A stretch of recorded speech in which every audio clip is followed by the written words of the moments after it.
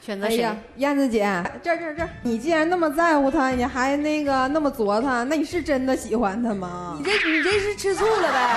那必须吃醋了，我必须得替他说话呀。同台的姐们儿，我让给你。谢谢谢谢谢谢。作息时间表就是为我安排的，我每天五点半起床，起床冲一杯蜂蜜水，然后我八点之前几乎都能回家，十点之前必须睡觉。很健康的生活方式。其实小伙子也是这样。是如果年轻人都像你们这样，夜场还哪会这么生意这么好啊？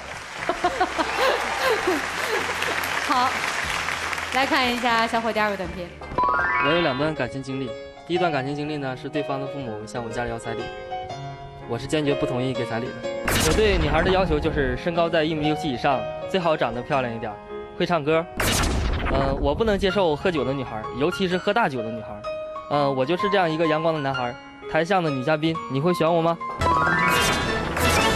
来，九号小绵羊。啊，那个自我介绍一下啊，我就是说上台是这个打扮成这样，但是生活中我是那个不化妆、不美甲、不染发，然后夜店、纹身，那个就是抽烟、呃打麻将也都跟我不沾边儿。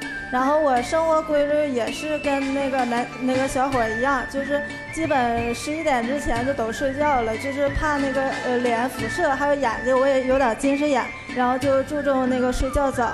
然后另外一点，我也挺喜欢喝汤的。好，谢谢。